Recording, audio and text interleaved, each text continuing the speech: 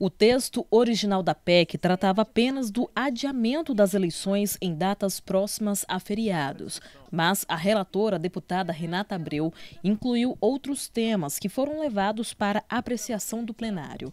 Para 2022, a proposta prevê eleições para deputados estaduais e federais, pelo sistema de maioria majoritária, conhecido por distritão.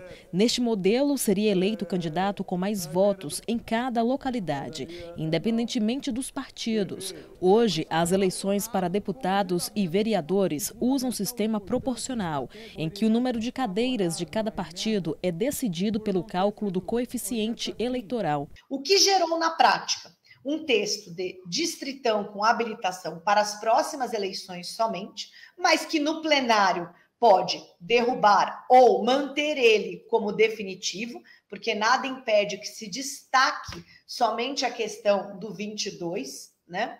É, e a volta de coligação também como uma alternativa de acordo.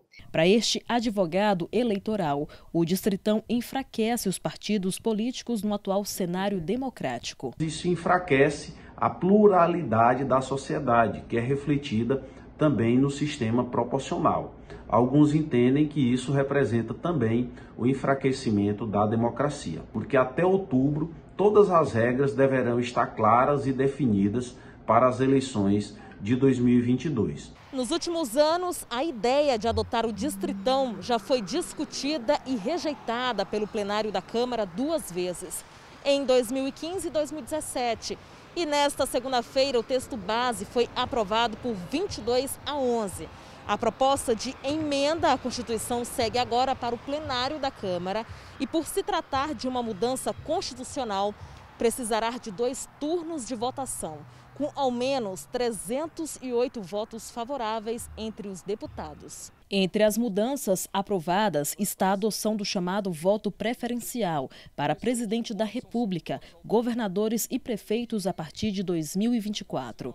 O eleitor tem a possibilidade de indicar até cinco candidatos em ordem de preferência. Na apuração serão contadas as opções dos eleitores até que algum candidato reúna a maioria absoluta dos votos para o chefe do executivo. A ideia da relatora Renata Abreu já é adotada em alguns lugares, como Irlanda e Nova York, Estados Unidos.